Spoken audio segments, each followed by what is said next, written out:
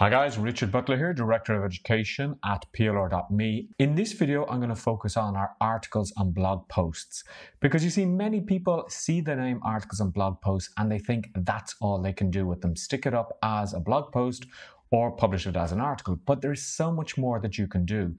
And what we want to do in this series of videos is show you how you can repurpose that content. So use it in a number of different ways in order to um, get your message and to get your brand across different channels. When you download and unzip one of our resources, you see that it comes in various different document formats. And I'm going to open up the text file here because this gives me the raw text without any formatting.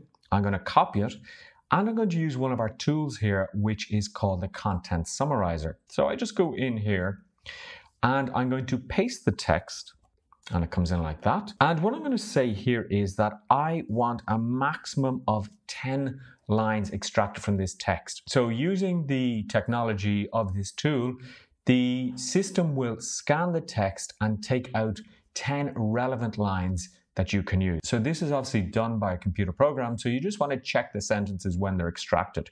But I just go in here, I have the um, settings, I can just leave the default, I've just changed the number of lines, and I go to summarize, and what that does is that picks out 10 sentences that I can now use. So what I could actually do is I could just say, take this one here. You can determine your own happiness by following these simple strategies. When life gives you lemons, make lemonade. And what I would do is I would tweet that and then I would provide a link to the full article on my website. So I'm driving people to my website because I want them to get interested in this. So another strategy that you could use is to copy this text again into Facebook, LinkedIn, or Twitter, and then ask a question and start getting people engaged with the actual quote. So you could ask people, what are your strategies for finding happiness in your life? Um, do you think you should take baby steps towards dreams or goals? Or do you feel that you should try and uh, complete an enormous chunk of your goal in one go? And by asking a question, what do you think? Uh, let me know your comments. Leave your comments below. This will get people to engage with your post, and that can tell the Facebook or LinkedIn algorithms that your post is worthy and then what will happen is that your post will be seen by more people. And this is just one element, obviously, of the algorithms, but Facebook and LinkedIn will reward you so to speak, if you're getting more engagement with your posts. So that's the first thing that you can do. You take your article, you put on your website, then you come into the content summarizer, you summarize the content, and then you use that as tweets. Now, what else could you do with this article? Well, you could actually create a podcast. Now, before you think, oh my God, I don't have the equipment to create a podcast, all you need is this. Okay?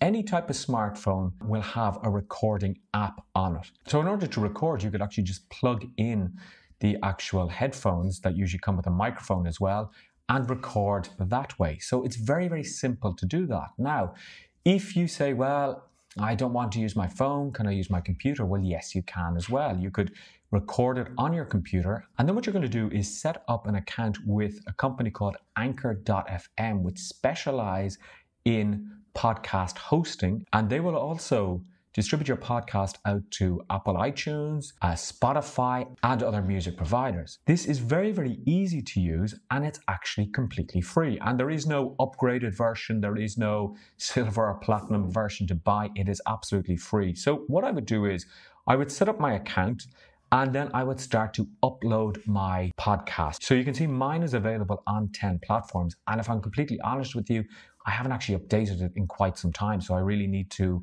um, upload some more podcasts. But I've had 2,209 plays.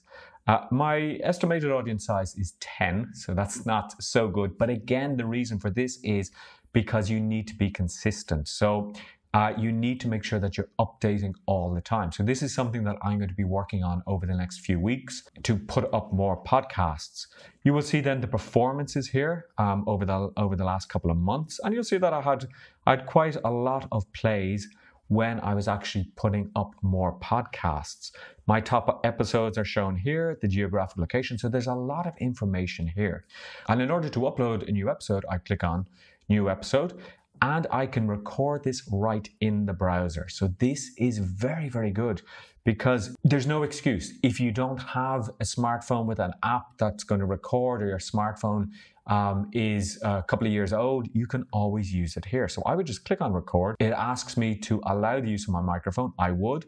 I would start recording. I would choose the default that I want to use, the microphone. And it's best probably to use the headphones and the microphone from there. Be careful to ensure that you're not moving around too much because if you are, the problem is the microphone might uh, rub against your clothes or it could rub against your face, or in my case, it could rub against my beard, and then you hear a, a crackly, crackly, crackly sound, which is actually the technical term for this crackly, crackly sound. So there's a, a little bit of terminology for you. If I just went in and I started to record and I said hello, hello, hello, so it says you can record for up to 30 minutes. So I would stop recording it then uploads that up to um, anchor.fm. And then what I can do is I can put in some information about this particular podcast.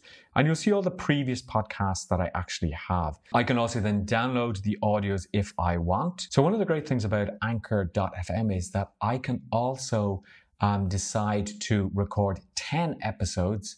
And then what I can do is I can drip feed those out over a number of weeks. Okay, so you can hear the you can hear the episode there, and then what I can just do is I can just bring this over here, okay, and I click on Save Episode, and then I would put in an episode title and an episode description, and here is where I can say, um, don't publish this until Sunday the 19th. So if you have a Saturday or Sunday morning free, you might record maybe five podcasts, and then you could have them um, drip feeding out or publishing at different dates over the next five weeks. And this is really good because then you can set and forget. In other words, you can set um, five or 10 or 15 podcasts to publish automatically. So one of the things that I would recommend then with podcasts is that you do have a call to action. You know, for the podcast notes, please visit my website www.plr.me or whatever your website is.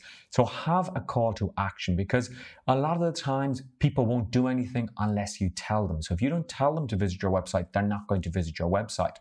Um, always have an introduction to your podcast. So something like, Hi there, this is Richard Butler from richardbutlerthesuccesscoach.com.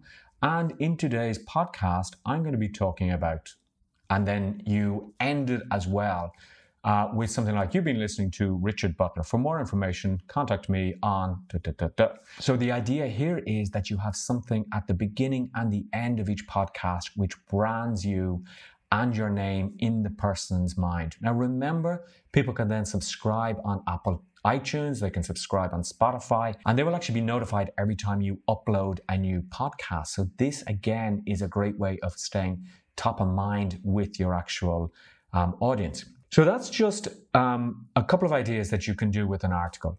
Publish the article as is, um, modify the article if you wish use the content summarizer to create tweets and then link back to the article and then record the article as a podcast.